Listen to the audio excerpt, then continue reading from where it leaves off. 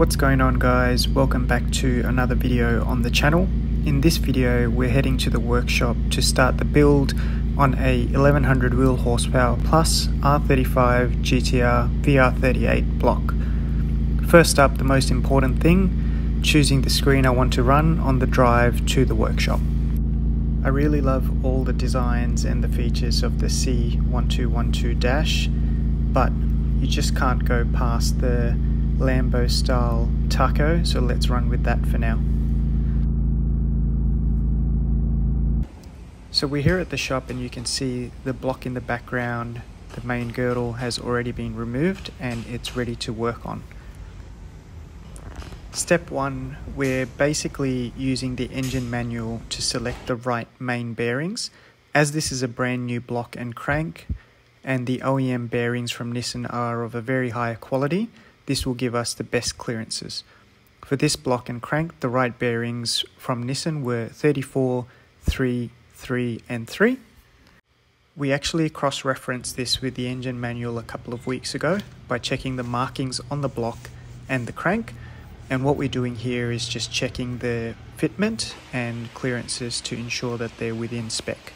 Now that the main bearings are in place, we'll actually be using plastic Plastigauge to check the main bearing clearances because Plastigauge is really quick and easy to use compared to a dial bore gauge or a micrometer. Next up was the rod bearings. As this build is using aftermarket forged rods and pistons, we can't really rely on the engine manual and need to do some measuring. We have a set of big end bearings that are in the middle of the various grades that are on offer as a starting point. In this instance, we found that we might need a few different sets of OEM big end bearings to get perfect clearances. As this is time consuming, it will be done offline, so unfortunately I won't be able to show you that. Now that we're done with the crank and rods, we're moving back over to the block and putting the crank into the block.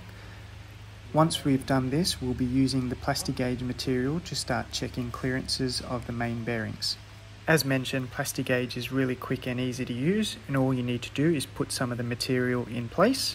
So here we are putting some of the Plastigauge material in place where the main bearings would go this basically leaves a little bit of a residue which you can use to measure and check clearances.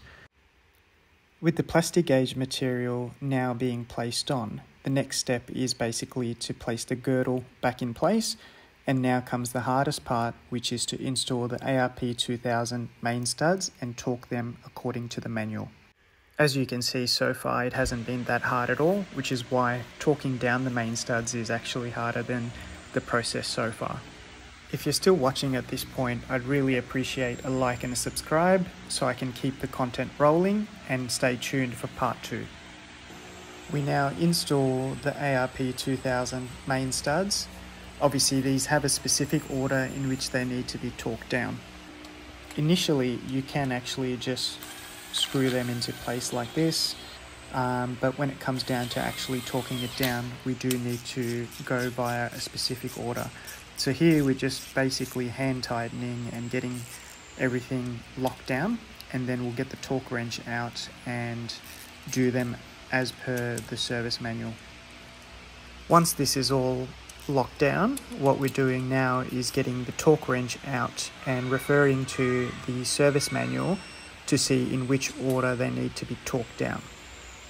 Once we knew the order and the torque values, it was just as simple as following the process as shown in the manual. After this step, we actually do need to remove everything and see the compressed Plastigauge on the crank. In this next clip here, you can see some of the residue and we essentially use this to check the clearances. Our main bearing clearances were bang on, so now we have the bearings sorted and we can send the rotating assembly to the machine shop for balancing.